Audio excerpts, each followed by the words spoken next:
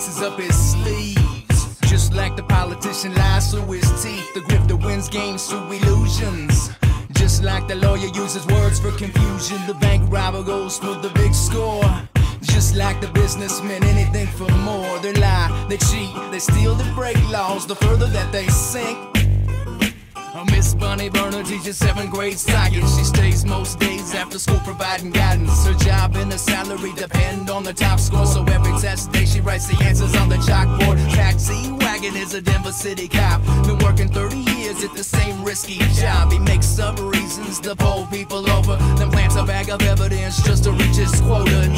And Mr. Is a World War veteran. Works up at Walmart to supplement his medicine. He picks people's pockets when they ask for assistance in order to afford the rising price of his prescriptions. Lie, cheat, steal, and break laws. It's the only way.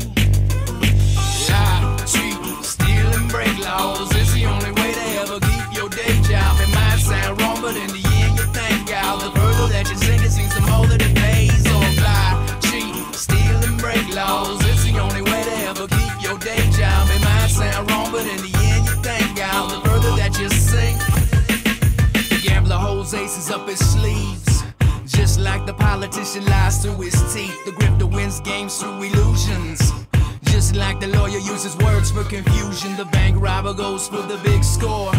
Just like the businessmen, anything for more. They lie, they cheat, they steal, they break laws. The further that they sink, Robert Ryder is a local taxi driver. Works in the neighborhood where kids slash his tires. The price at the pump now has him double parked. Siphoning gas out the tank of other cars. And Mr. Mandalone owns a local soda shop. A safe place for kids after school to hold a job. Her small business venture set out on a crash course till she learned how to manipulate the tax forms. And Miss Deep Paloma was underqualified.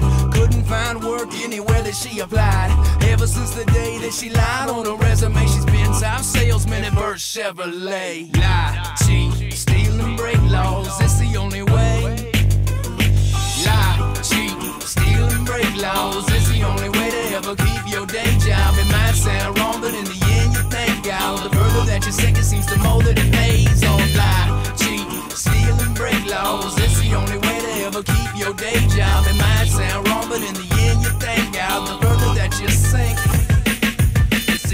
CEOs never even have to leave the mansion. Send the lobbyists to Washington to pay the ransom. The politicians no longer have to be accountable for problems at the top affecting people down below. When the lawyers shake hands, roll over and play dead. So long as it adds another zero to the paycheck. Corruption in the open with everybody watching. Starts at the top and then trickles to the bottom. Here goes lie, cheat, steal, and break laws. It's the only way to ever keep your day job. It might sound wrong, but in the